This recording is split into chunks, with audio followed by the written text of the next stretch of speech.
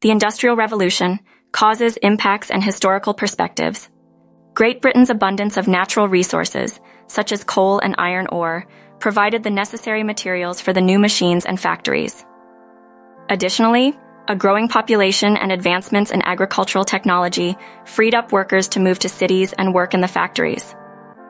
Lastly, the entrepreneurial spirit of wealthy investors who were willing to invest in new businesses and technologies played a crucial role. The Industrial Revolution had a profound impact on society. Economically, it led to a dramatic increase in growth and productivity. New industries emerged, transforming old ones. However, the environment suffered as well. The growth of cities also led to the decline of rural communities. Some highlight its positive aspects, such as economic growth and improved living standards.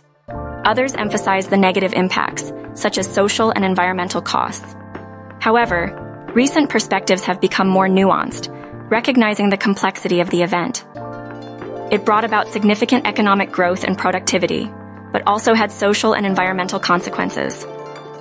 Historians continue to analyze and debate its causes and impacts, acknowledging its importance as one of the most significant events in modern history.